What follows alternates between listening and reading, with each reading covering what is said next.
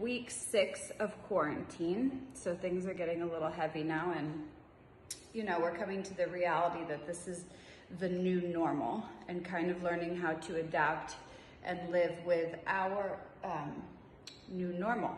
So this week I do, I will be teaching Monday, Wednesday, and Friday classes on Zoom, but um, I also wanted to just reach out and chat a little bit about the um, more deeper part of uh, physical health and well-being. I find that all of us now are really into fitness, which is great, and being healthy and getting out and moving. And I'm doing it myself. I went for a bike ride. I walked the dogs for an hour. But while I was walking, I was noticing that, you know, we see all of these superficial, beautiful bodies in the fitness industry, right? People with six packs, amazing definition in their bodies.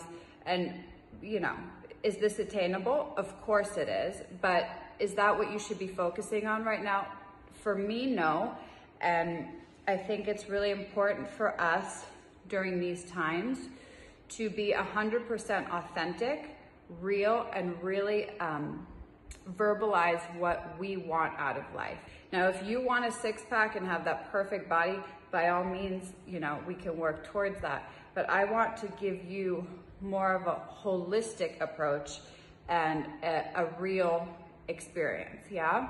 So my challenge for this week is for all of us, my friends, my clients, to be authentic. And by authentic for me, I mean emotionally, yeah? So I am gonna share information about myself with you that maybe you guys don't know. And I would love if you guys would share something with me so that we know each other on a more um, deeper level than such a superficial level, right? Because, you know, I know you based on your bodies, based on what you want out of your physical health, but I want to know you on a deeper level.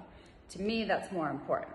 So, my question for you is can you and will you share something special about you with me this week?